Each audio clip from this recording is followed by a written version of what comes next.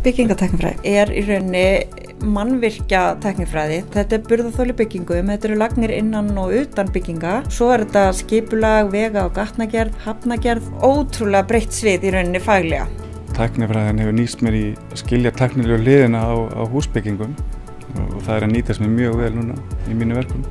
Þetta er náttúrulega bara svona raunvísinda fag í rauninni. Það er í starffræði og eðlisfræði og burðaþólsfræði og svo leiðist og eftir þrjú og hálft ár uh, útskrifast maður sem tæknifræðingur og það er lögvenda starfsæti. Það var svona helsta ástæða fyrir ég valdi tæknifræðina. Það hætti farið út á vinnumarkað, fundið út úr hvað með skemmtilegt og tekið master út frá því. Mannverkagerð hefur náttúrulega greiðlega mikil áhrif á allt okkar umhverfi þannig að við leitumst við að koma umhverfis meðvitund og hvar við getum bætt inn í allt námið. Auðvitað þráðurinn í mínu námi var tengt umhverfismálum. Ég er mjög ánægð með HR að gefa valmöguleika á því að velja sér áfanga í þá átt. Það er málefnin sem ég brenn fyrir og er að starfa við hérna líka í Lindri Virnind. Það er mjög góður andið hérna og góð aðstæða til að læra.